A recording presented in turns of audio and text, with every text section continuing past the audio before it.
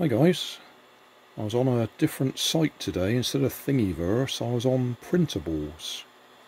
And I spotted this one by Robot Friend.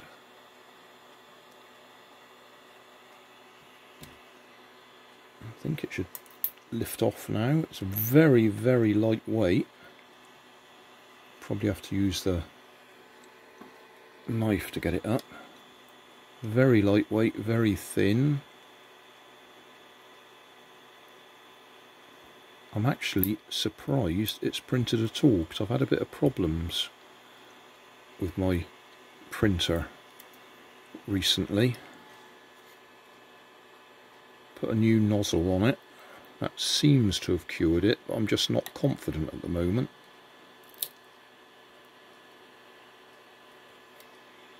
You expect things to fail when you're not confident.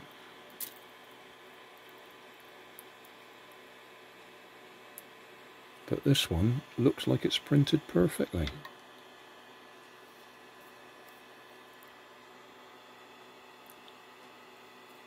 Need to bend the vertical stabilizers up into a V shape and then these are the elevators for trimming it.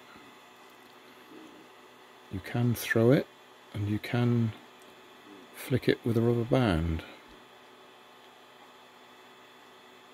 I hope it flies, because I must say I really didn't expect it to print.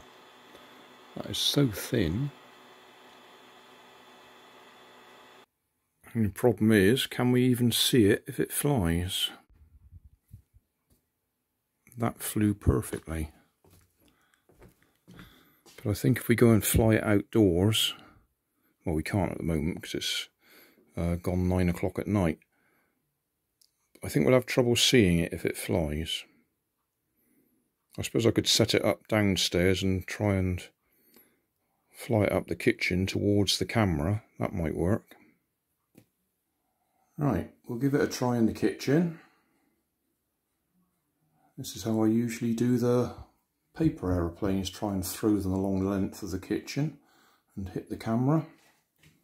Don't know how strong it is though.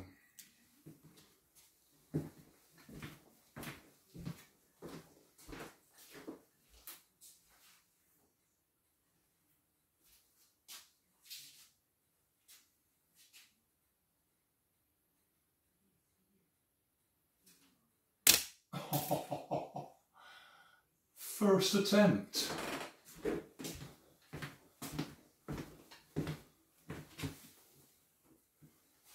I don't believe that. First throw, and we actually hit the camera. Brilliant. Thanks for watching. Don't forget to like and subscribe and leave us a comment so we know how we're doing.